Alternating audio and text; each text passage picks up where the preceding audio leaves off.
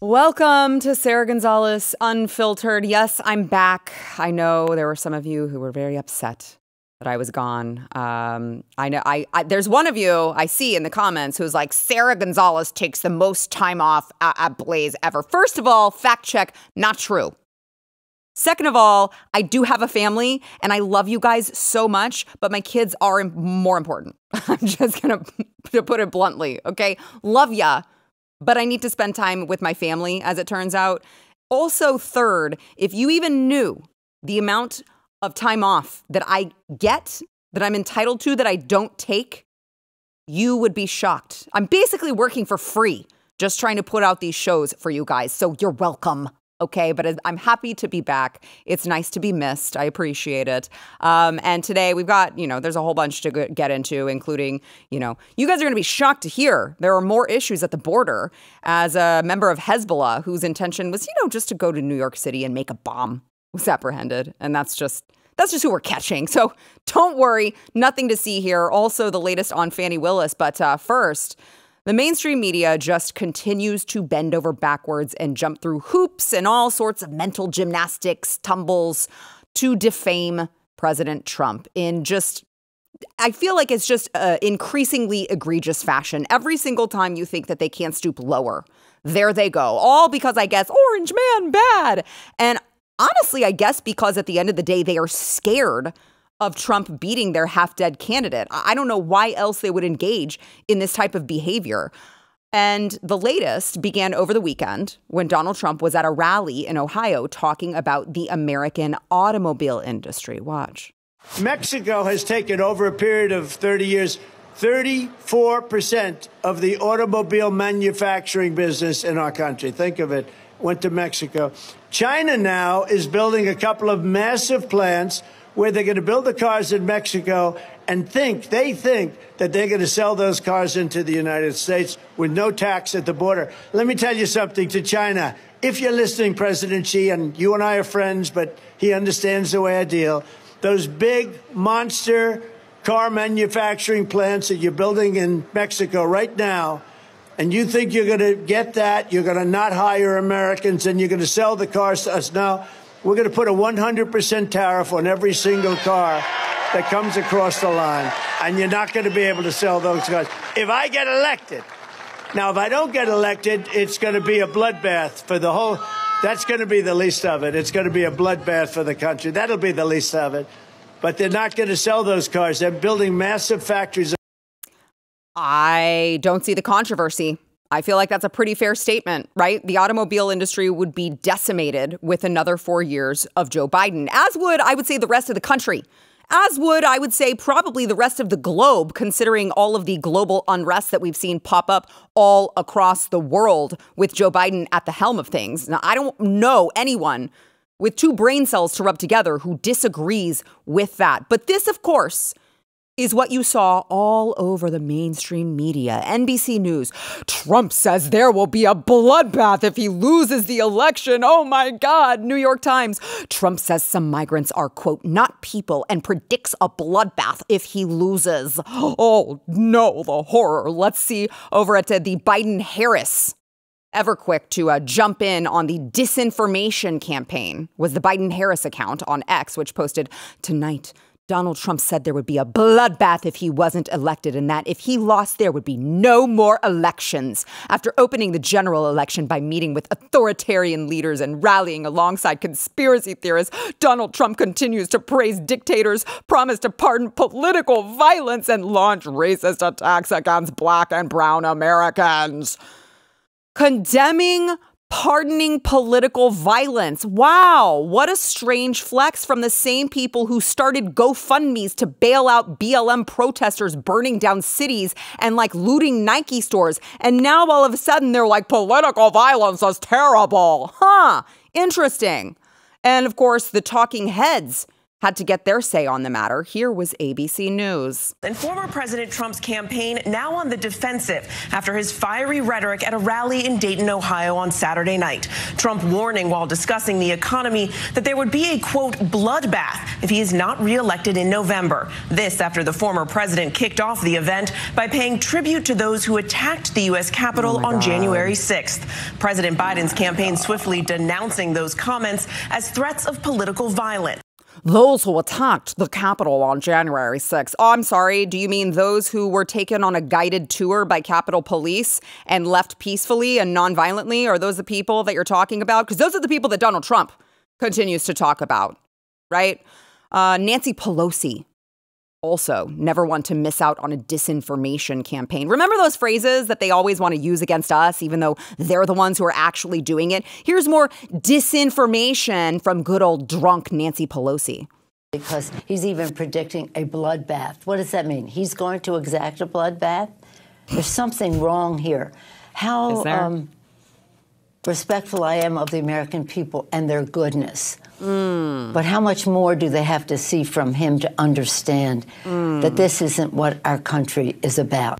Mm. Gonna exact a, is he gonna exact a bloodbath? Is that what he means? Is that what he's gonna do? Shut up. These people are not serious people. And I will tell you, I think that I saved the best one for last because Joe Scarborough over on MSNBC might take the cake for the most idiotic, unhinged response. And uh, by the way, I want you to watch this. As you're watching this, Matt, I don't I don't think he even believes the drivel that he spews. Watch. He's talking about a bloodbath for America. It's laid out in the terms of it.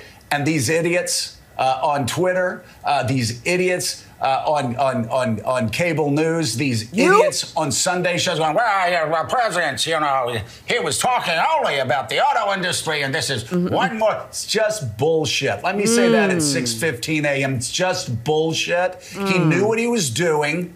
We're not stupid. Americans aren't stupid. He was talking about a bloodbath. Sometimes a bloodbath means a bloodbath. And when he finishes by saying, and that's just going to be the least of it, right? Seriously, these people may be stupid. We're not. No, but you really are, Joe. I, in fact, I think you might be the dumbest one up there because. Yes, sometimes a bloodbath does just mean a bloodbath, which, according to the freaking dictionary, Merriam Webster, would mean as one of its uses right there. For those of you who are listening on audio podcasts, I have a literal screenshot from Merriam Webster bloodbath, a major economic disaster. Don't take my word for it. Just check the freaking dictionary, okay? So I'm gonna call bullshit on that, Joe Scarborough, at 6:15 p.m. How about that? And you know, I don't know. I just feel like these people know this, right? Like Joe Scarborough, he knows this. I he's dumb, okay, but he knows this. You know how I know?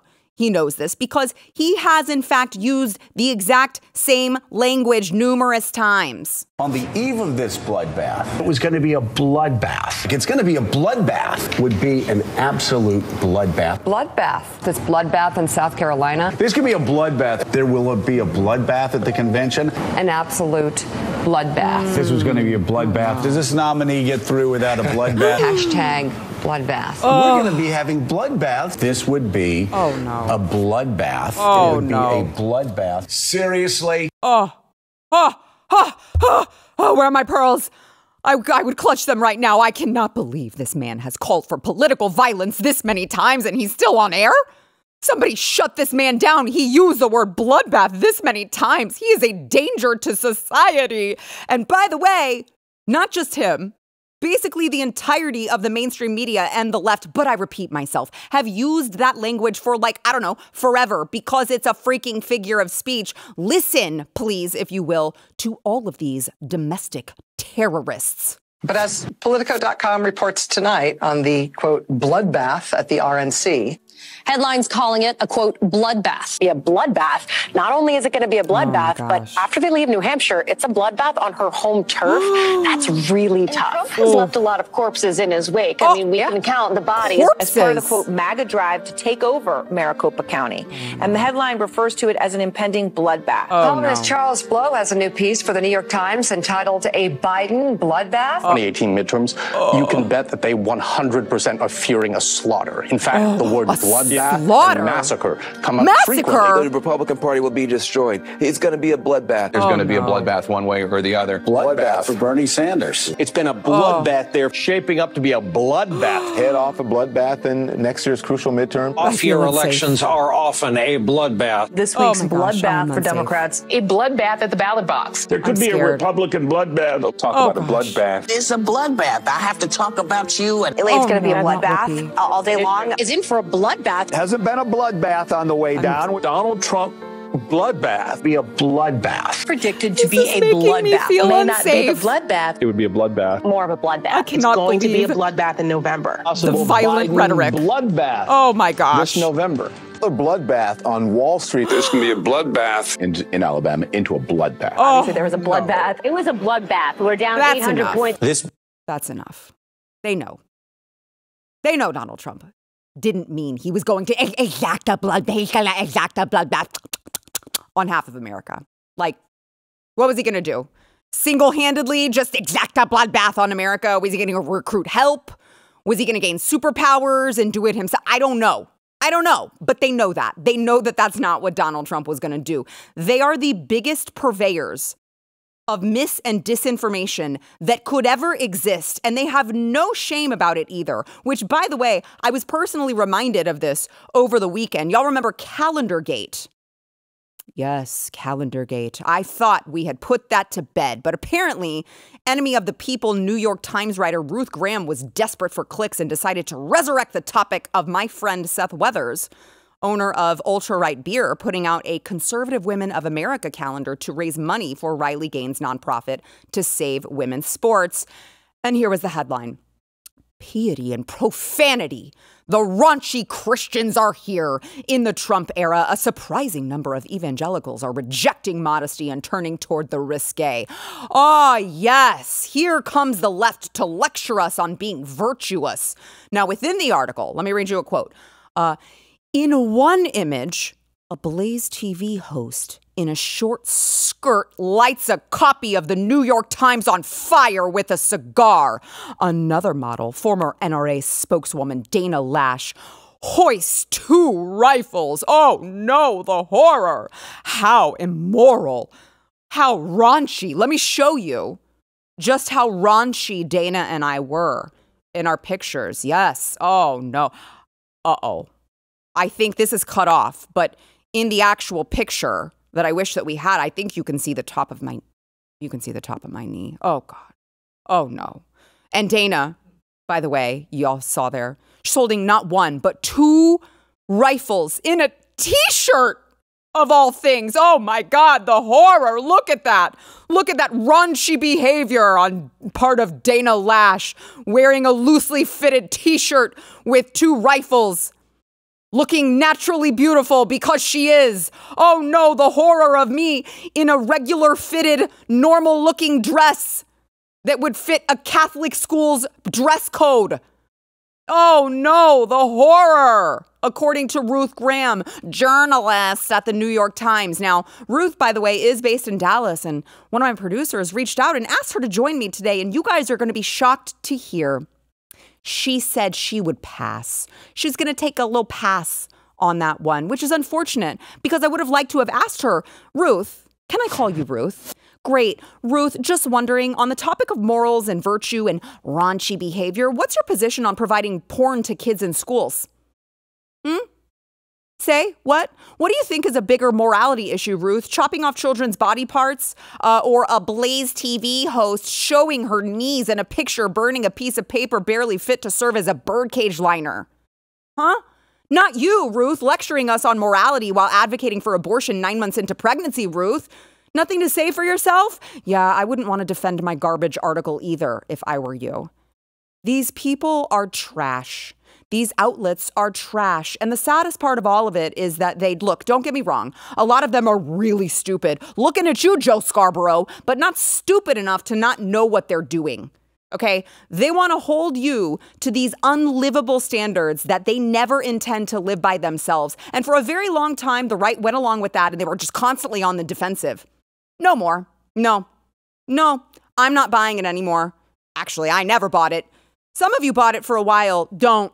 No more. You shouldn't buy it. Not one single second of this garbage anymore. All right, we've got to uh, take a quick break. We'll be back with more, but we want to thank our sponsor this segment, Preborn. So, Look, I just talked about good old Ruth Graham journalists at the New York Times uh, and all of them, the lot of them who are advocating for women to have these unspeakable unspeakable uh, late term abortions. They want to advocate for abortion nine months into pregnancy, these fully formed babies that are being killed every day. And I want to talk to you about the Ministry of Preborn because what Preborn does is they partner with this network of clinics who oftentimes these clinics are right next to these uh, abortion facilities where all of these tragedies take place.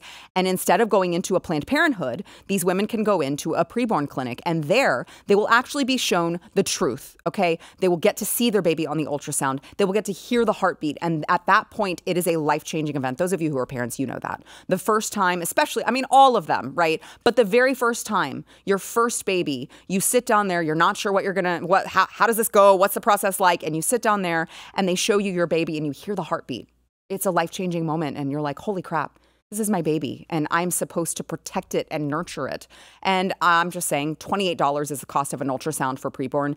That alone, $28, could mean the difference between life and death of a child. So I would encourage you guys, please, please donate securely what you can over at preborn by going to preborn.com slash Sarah. That is preborn.com slash Sarah.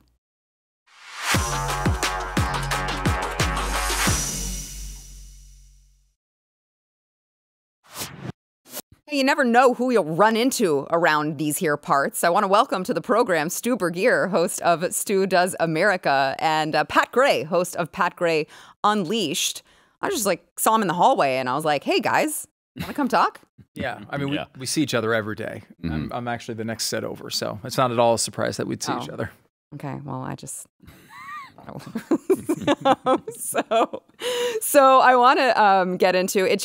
You know, do you ever feel like you're being repetitive talking about all of these stories about illegal immigration and more illegal immigrants who come in and do harm to Americans? And you're just like, I, I feel like I covered that yesterday, but like, it's really important and it keeps happening. And I feel like we need to keep talking about it. And that's how I feel today because there was a story um, that I saw on the Post Millennial over the weekend that uh, revealed a 22 year old illegal immigrant from Lebanon was apprehended at the border.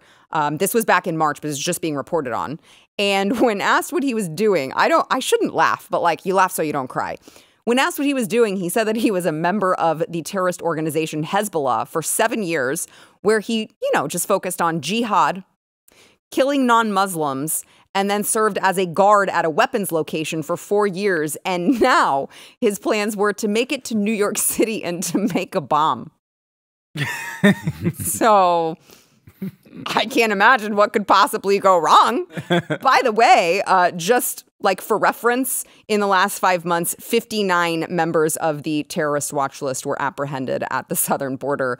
Um, and in fiscal year 2023, 172 on the same watch list were apprehended. So that's great because they're apprehending them all, right?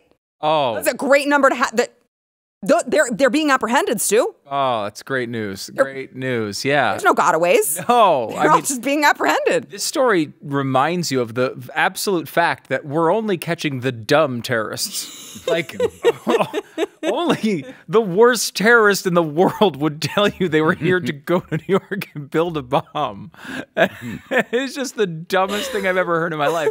And go through his whole resume as if it's mm-hmm. like a LinkedIn page. No, Border Patrol's like So, sir, what do you plan to do now that you're in the United States? I'm going to go to New York City and make a bomb, bitch. I, I, I, mean, I like the brazen nature of it. At least he's being honest. You know, yeah. there's so much dishonesty in the world today, and it's nice to see honesty from our terrorists.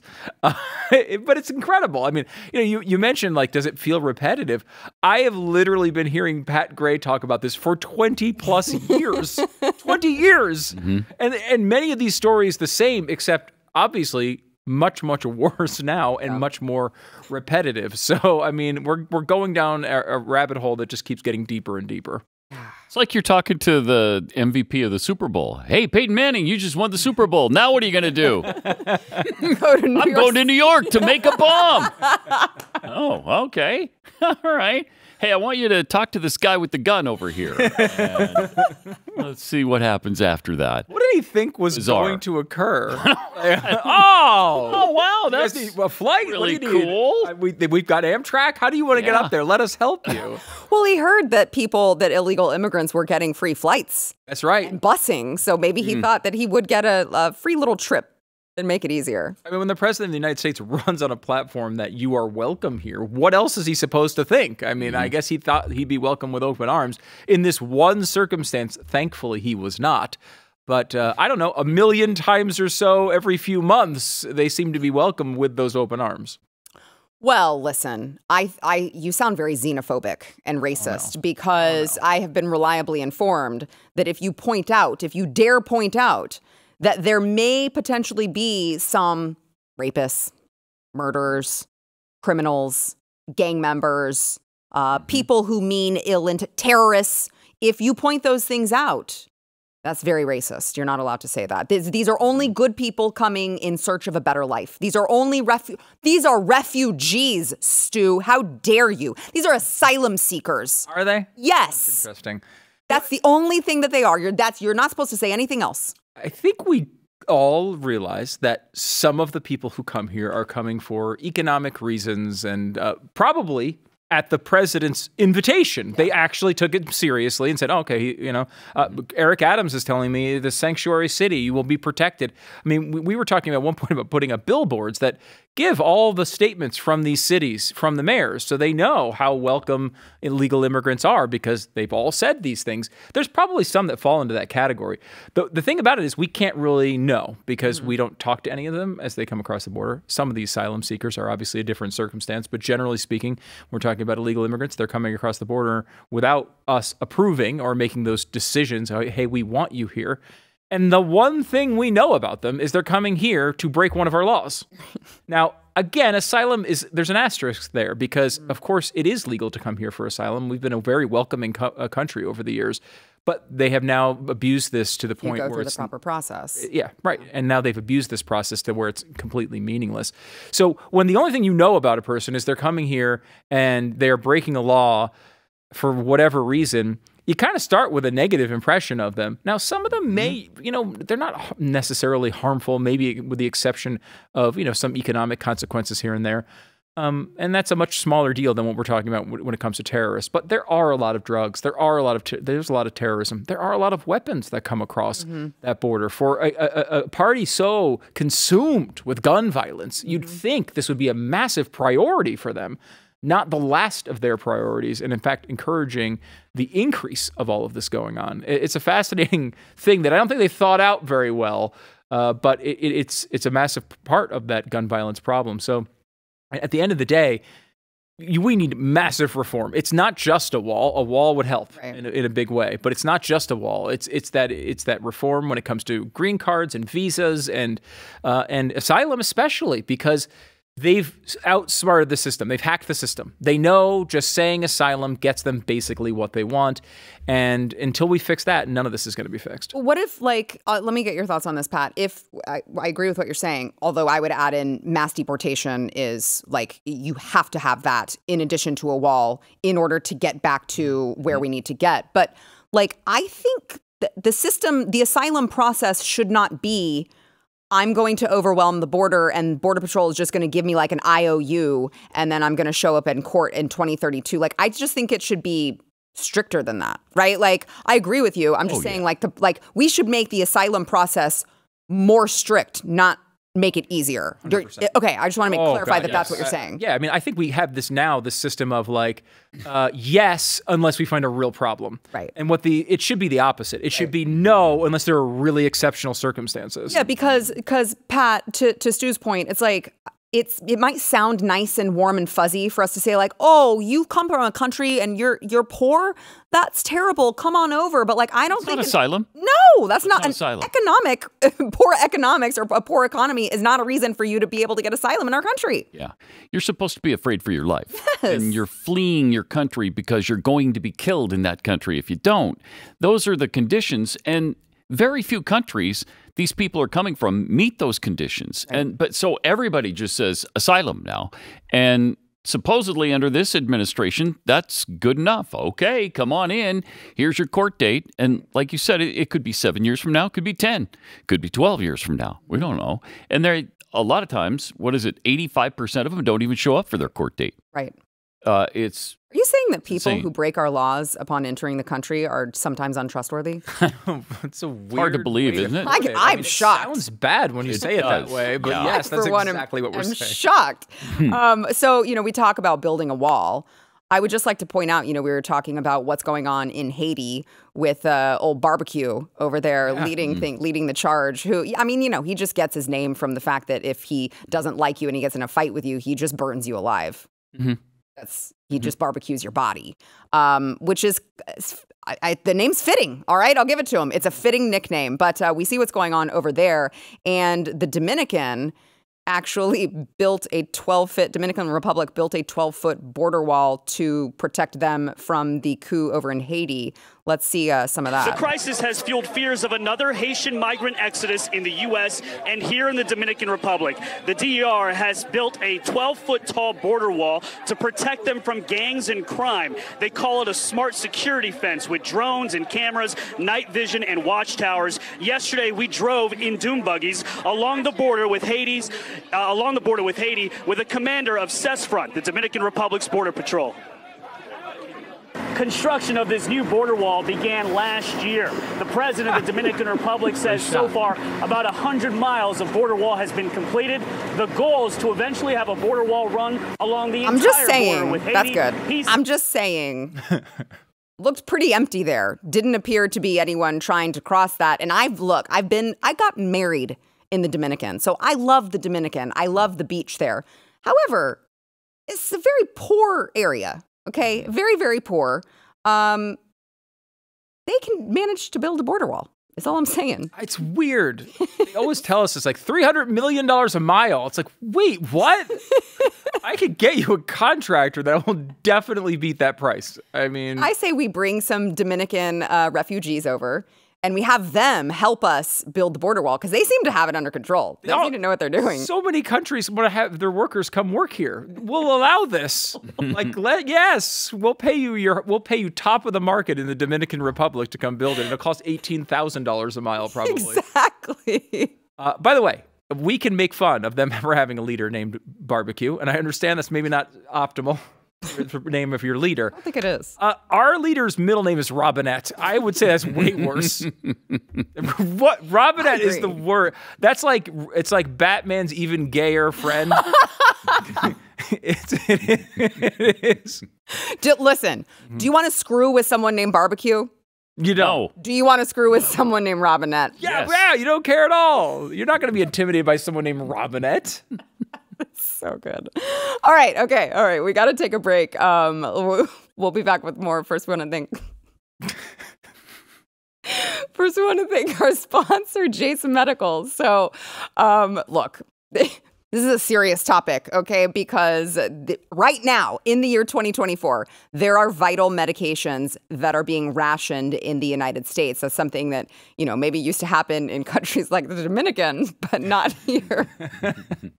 but things aren't that way anymore. And this is just one reason why you need to have the Jase case on hand. Uh, it's a personalized emergency medication kit. It contains five essential antibiotics, which are going to treat the most common and deadly bacterial infections. Like, imagine that your child had strep throat and you couldn't find amoxicillin anywhere. That could be deadly, all right? It's customizable, by the way. It's got dozens of add on medications available, so you can choose the ones that best fit you and your family's needs. They have ivermectin as an add on option if you so choose. And what I'm recommending to you, if you have uh, grown children who have families of their own, maybe get a Jase case for yourself and then get a gift card for your family so that they can make sure that they are protected as well. Okay, go to jasemedical.com, enter code Sarah at checkout for a discount on your order. That is J A S E medical.com, code Sarah.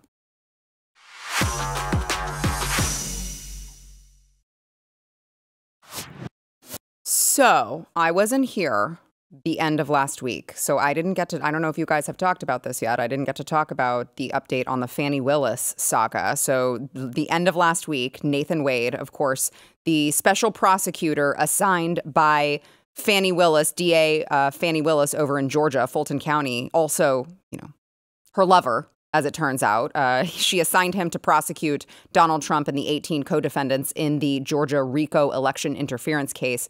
He has, I regret to inform you, officially resigned. Now, Oh no. I may have something to do with it that just hours before that, Judge Scott McAfee ruled that either uh, Nathan Wade or Fani Willis had to exit over, of course, the allegations that Fani uh, misused taxpayer dollars and uh, showed favoritism to Nathan Wade.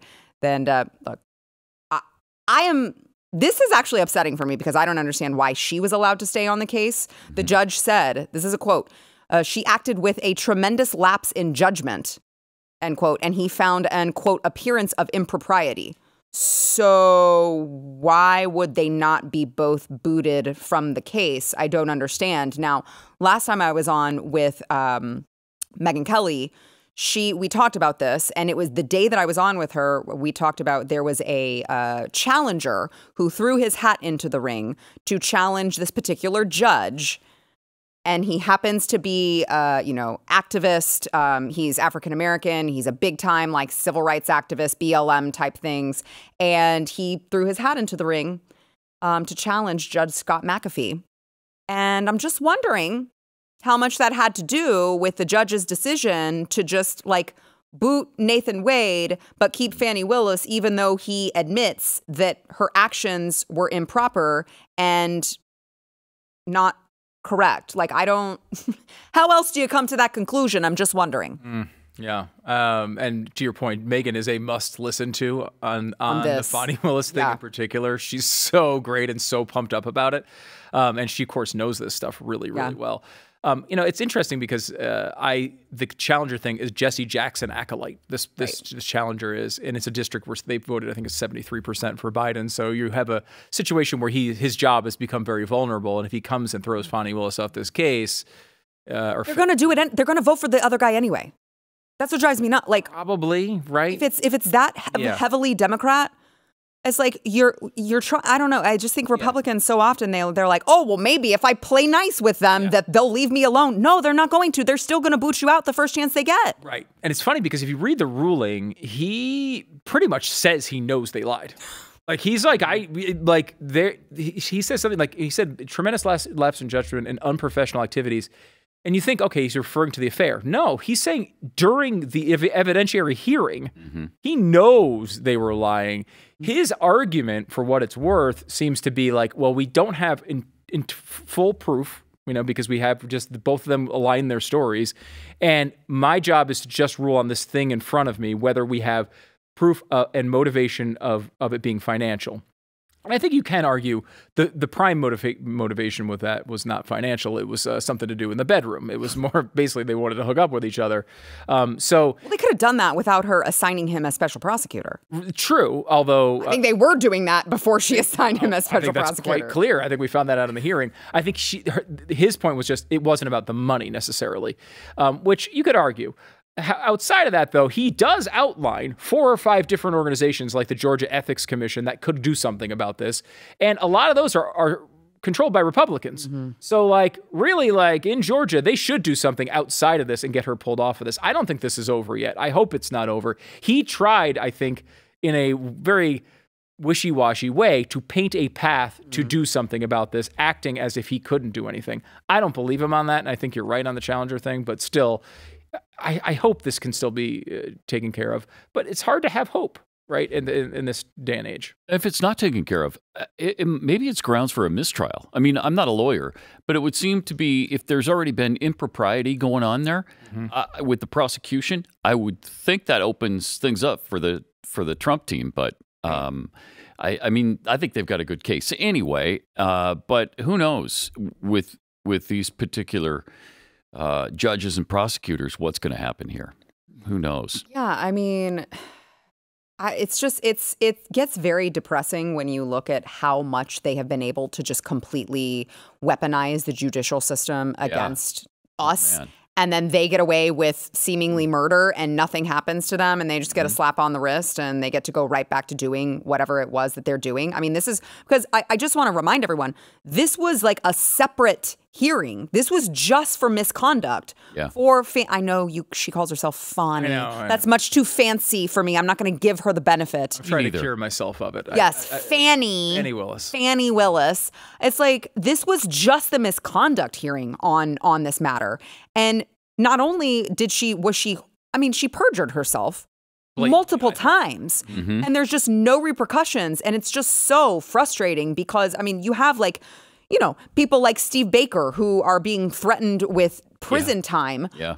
over nothing seemingly the most boring uh, event at the capitol ever you know um, acting as an independent journalist and then you have all of these you know you have a da a fulton county da who I would say, I know you said that that they make the argument that the it's not uh, the motivation was not financial. I don't know. I would say six hundred fifty thousand dollars is a lot of money to funnel to your lover who's taking you on trips. I agree with that um, completely. Uh, in fact, I don't agree with his analysis. I think it was partially financial. I don't know if that was the main motivation, but like you know, giving a job to your boyfriend is kind of a, you know. He wasn't even qualified. Let's let's let's let's remind everyone of that. He had never tried a RICO case like this before, ever. Right. It's just mm. insanity. Completely unqualified. It's just insanity. And it does say something too. I think in, interesting about her motivation because when you have someone in the, and we have this like with Letitia James in New York, for example. Mm-hmm. Um, the motivation can be one of two things typically. Number one, it's ideological. They hate Donald Trump. Uh, they want to come after him, and I think that's that's largely Letitia James. Um, Fani Willis, though, like you don't make a mistake like this if it's ideological. If your if your only goal in life is to get Donald Trump removed, you don't risk an affair with your boyfriend, paying him six hundred thousand dollars and taking trips with him. There's also the other motivation, which is money, is fame, and and and just self importance. And I think that's where Fannie Willis, Fani Willis falls. Uh, I think she's on that side of the equation. I'm, I'm, not saying she's not ideologically against Trump. She definitely is.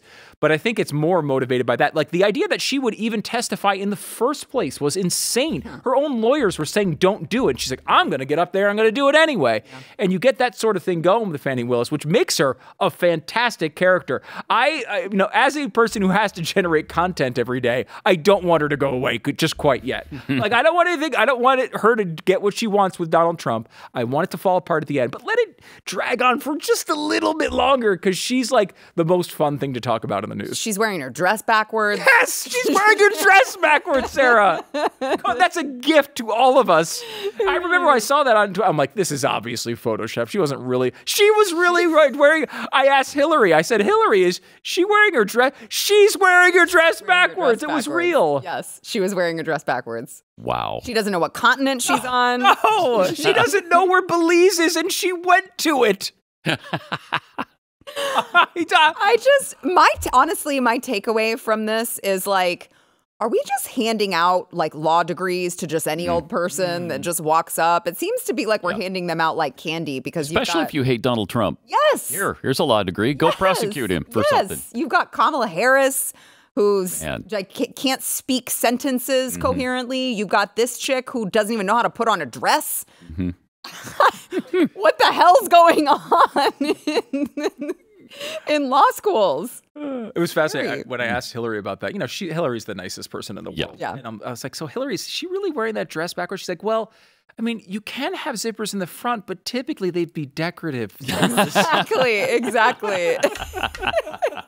And this one was like the little one that goes, you know, in the back.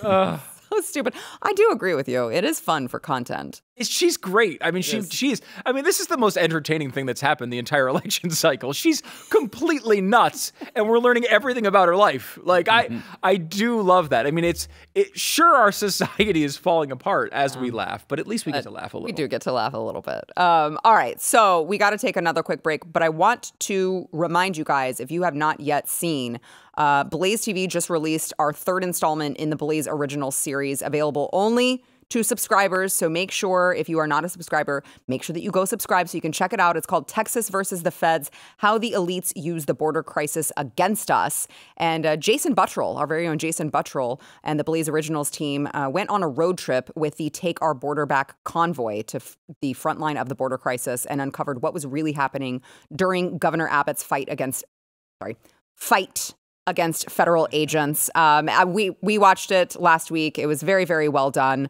and um, you know you are going to learn something. I would say if you're not really in on what's going on specifically with Texas and the border. I promise you, you're going to learn some things that you didn't realize. You can go to therealbordercrisis.com, use code BORDER to get $30 off of your Blaze TV subscription. That is therealbordercrisis.com. Got something to say? Leave Sara a message at 888 969 5113.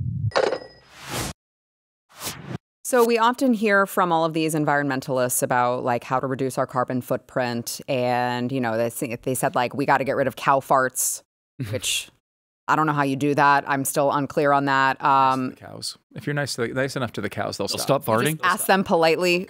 Ask them- Excuse me. You got to be very polite about it. Would you No please? sarcasm, Please, Pat. please, please stop farting. See, uh, they would detect. like that. The, they would detect the sarcasm. Oh, they would? Continue to fart. They wouldn't buy that. They wouldn't buy Wow. it. Don't call Pat over to do it, okay? um, so then they were like, well, we should just eat bugs.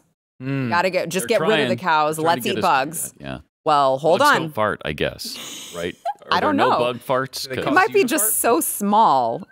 the emission is so Yeah. small. It's not that It's- it's loud. and you don't negligible. hear it. Yeah. No, you don't care about the noise. It's the carbon. Oh, it's oh, the right. emissions. Yes, the methane is.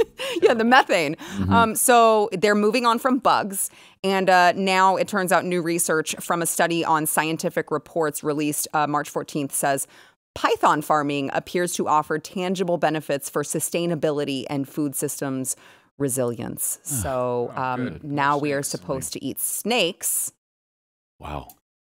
Yes, uh, in order to save the environment. Now, the study says that not only can it complement existing livestock systems like cattle, pigs, and chicken, but it may actually offer better returns in terms of production efficiencies, claiming that fasted pythons, up to 4.2 months, lost only 0.004% of their body mass per day. So it eases the demand on animal food consumption. And um, they're just encouraging us to start eating um, pythons. Yeah, there's a China snake farm. Um, I just, you know, like we see all of these other countries and they're eating apparently snakes and dogs and cats, and we're like, uh, I think we're better than that. And apparently, the environmentalists don't think that we are. So I gotta ask, which one of you is going to be the first one to consume Mm. pythons? Where it pays to be a vegetarian, Sara. uh, there's very few times in life that it's good to be a vegetarian, and this is this is it. I'm always last in line for the snake meat. Mm. Um, I believe there was a documentary uh, titled uh, "Indiana Jones and the Temple of Doom," Mm. which covered this topic. Mhm. And if you remember, they cut into the snake, and all the other snakes came out. I I draw the li- like. There's. I, I, I think I'd probably eat bugs before I eat snakes. Like I don't want anything to do with them. I'm terrified of them. I want nothing to do with that. When they're on their plate, though, they're not as scary as like in the wild. That's, I'm not saying they're as scary, but they're really gross. I'm not Gross. scared of They're the sick. cooked snake when it's on my plate, but I'm, I'm still equally as grossed out by yeah, it. Yeah, it's nasty. That's just nasty. I'm not ever eating snake. I, I, I don't care if every cow I eat kills the planet a little bit more. I'm still eating cow. I'm not going to ever eat snake, and they can't force me to do it. I'm not going to eat bugs. No. And I'm not going to eat snakes. No. I'm an American. I don't have to, so I'm not going to. This is how the, And, this is how the uh, planet died. This is how. Mm-hmm. Yeah, this is how. Well, All right. Well, I'll accept my responsibility helping kill the planet. and you know what? I don't feel bad about it either. I don't feel a bit bad about it. No, not really. Not at all. These Nope. things were put here on the earth for us to eat. Yes. Snakes? No. Bugs? No.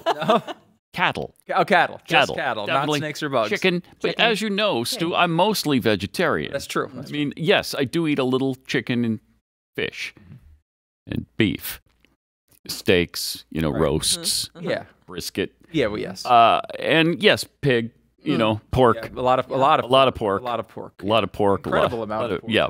Yeah. But most animals on this planet, I don't touch. Bear, I don't eat it. Never, never even had it, lion, right? I've never even tasted a lion. I don't eat alligator. I don't eat uh, kangaroo.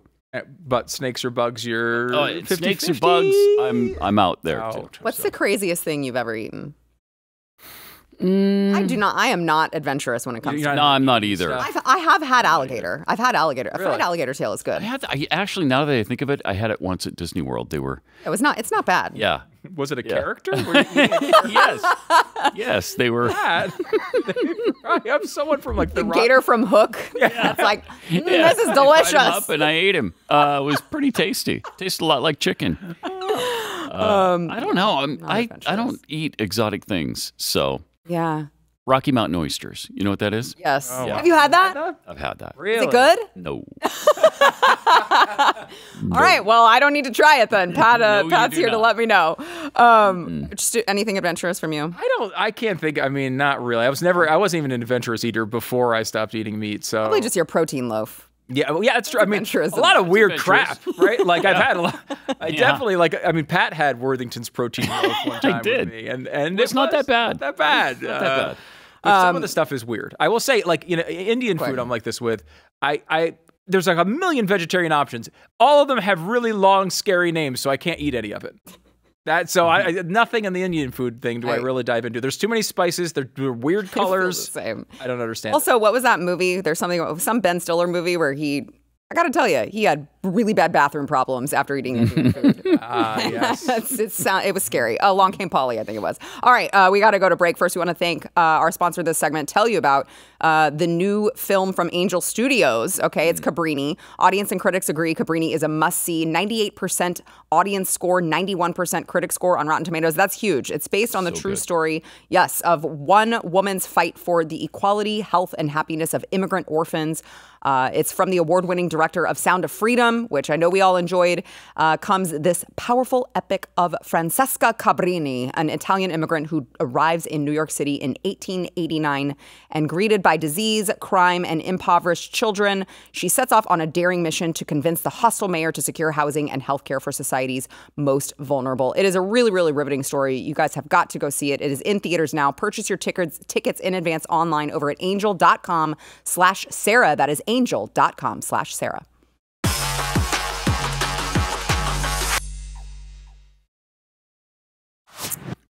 Just a reminder, uh, this is the leader of the free world. Never know. Okay, Jill's giving him instructions. He's like, uh, wait, which way do I? Which way do I go? This way? Can't. I'm, I'm just gonna. You can just hear that noise coming out of it. You really can. The Joe Biden shuffle. Oh, I'm just happy he made it down the stairs. So did not follow instructions Oh, uh, very well. it's like you had one he can't. job. He can't. You know what? He's incapable of doing what they tell him to do when you exit. He every time it's like over there. No. Oh, over there. What, what's that? It's a door, Joe. Walk through it. oh, yeah, can- can you open it? Oh, what? Anyway. Not a joke. Not a joke, man. Don't jump. Don't jump. Uh, We need you.